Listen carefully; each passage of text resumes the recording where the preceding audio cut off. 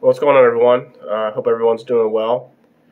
I wanted to uh, take a couple moments to uh, talk about taking time to reflect on your journey. And this is something I've been thinking about uh, for a little bit uh, after a couple uh, recent wins of mine with tennis. And I think it's important to look back on how far you've come from a, a certain position where you weren't doing as well as you wanted, and then you overcame that and moved forward uh, no matter how humble uh, the task may be. And I, for me, it's been it's been pretty crazy to think about how far I've come in tennis, uh, starting from a very very low level, then getting up higher in the ranks. Uh, that was a personal goal I set for myself, and it's part of my journey, and that journey is important to me. And for whatever you're working towards, uh, that part of you that is important to put time and effort and energy into, uh, so that you can figure out who you really are. And I think that's part of of why we take on difficult challenges uh, in life uh, because you don't want everything to be on easy mode.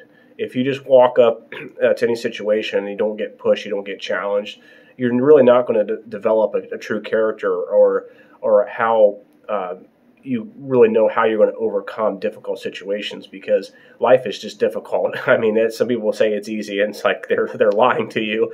Uh, so uh, I, as a coach and as a player, um, I always uh, focus on that person's journey. And part of that journey is what do you do when you con- are confronted by adversity? And I, have seen all different levels of, of uh, response to adversity. Some people get really frustrated and upset, other people more quiet and reserved. And it's very, very few people have the determination to, to move through that, no matter how unenjoyable the process is. Uh, they they find their goal and they move towards it.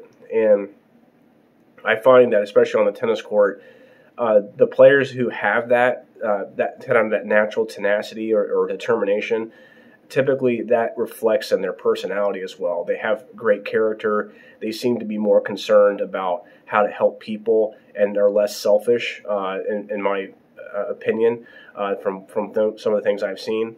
Uh, but that's part of your journey and part of your story. And as I take time to reflect on how far I've come on my path and trying to get to USTA 4.5, which I'm getting pretty close now, I'm developing the skills I need.